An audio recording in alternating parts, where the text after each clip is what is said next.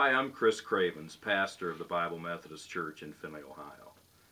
Pastor Rick and Karen Addison, I congratulate you and your family, as well as the entire Grace Place community, for 20 wonderful years of ministry. Such a celebration is a tribute to both a great pastor and a great church community. I'm jealous of a pastor who can preach without a tie for 20 years and get away with it. Rick and Karen, on behalf of the entire congregation of the Bible Methodist Church in Findlay, and especially my family, I want to express our appreciation and the honor we feel is ours to be invited to celebrate with you these two decades of pastoral leadership in the ministry of the Grace Place.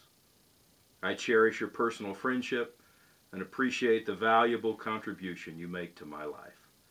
It's evident to me that God has raised you up to serve in His kingdom for such a time as this. May God grant you and Karen many more years of effective ministry in His church on earth. And Karen, you the much needed grace to live with Rick. Congratulations, Pastor Rick, Karen, Grace Place community, on these 20 faithful years.